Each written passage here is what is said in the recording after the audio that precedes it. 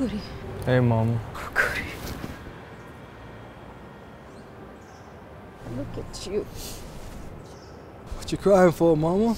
I'm all grown up now. Nothing. I'm just glad you made it.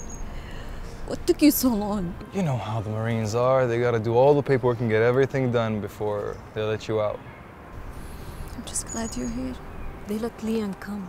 And your uncle Gabe's still in the hospital. They don't know if they're gonna let him out or not. But I talked to him a while ago.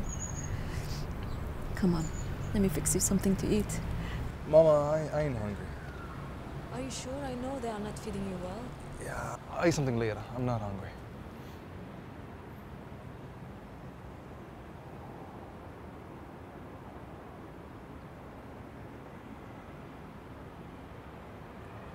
Nothing much changed. Still got that piece of rag tied up to that tree. I was just getting ready to go inside the house.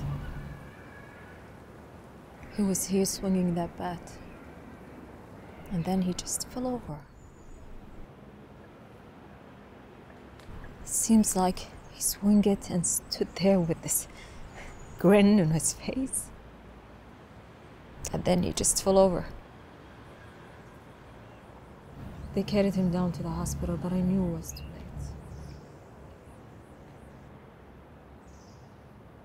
Come, let's go inside the house. Mama, I gotta tell you something. I don't know how I'm gonna tell you, but I gotta tell you.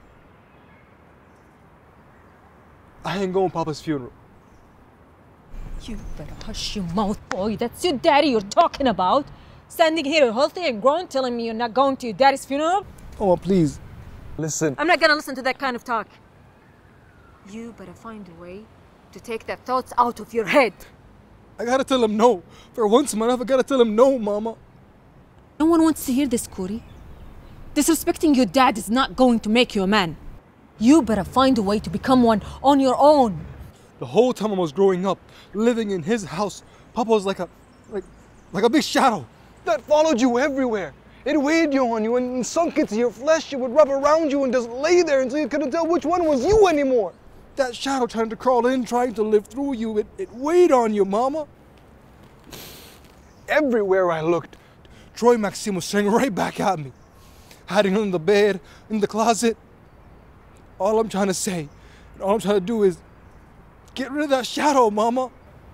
Just like him. Don't tell me that. Into you good. Don't tell me that. You Troy Maxson all over again. I don't want to be Troy Maxson. I want to be me.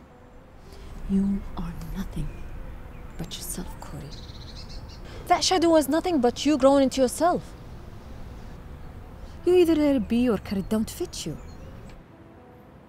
Your daddy wanted you to be everything he wasn't. And at the same time, he wanted you to be everything he was. I don't know if he's wrong or right, but I know that he meant to do more good than to do harm.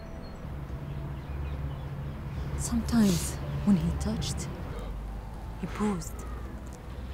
And sometimes when he took me in his arms,